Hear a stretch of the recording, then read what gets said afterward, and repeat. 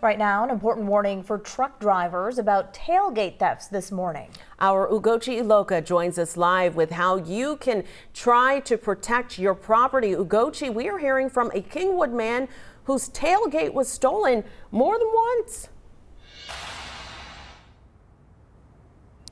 Yeah, Kimberly and Rekha, that's right. Craig Hay is dealing with the aftermath of his Ford truck tailgate being stolen more than, well, twice in a matter of months. So he's been dealing with this a lot now. If you take a look at your screen right now, you're looking at truck tailgate thefts caught on camera that we've been covering. Now, Hayes' recent theft happened just this past Tuesday night, despite him having two locks on the truck tailgate. He says he went to see a band play at the Heights Theater around 9 p.m. By the time he left the theater at 10:30 p.m., the tailgate had already been removed from its hinges. He says truck tailgates are very expensive.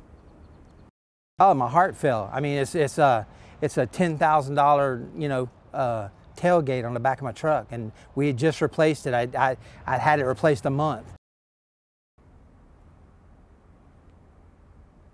Yeah, you really got a feel for him there. Right now, experts suggest that you grab yourself a stainless steel hose clamp large enough to fit at the pivot point, the bottom of it, on a truck like this on the back. If you take a look, this is the area that would be. Police also advise that on top of having your tailgate locked, that you also have it parked close to garages or other cars to prevent the tailgate from being fully removed. We are taking a look at other important tips that police suggest that you try to keep your truck tailgate protected and prevented from being stolen coming up in the next hour.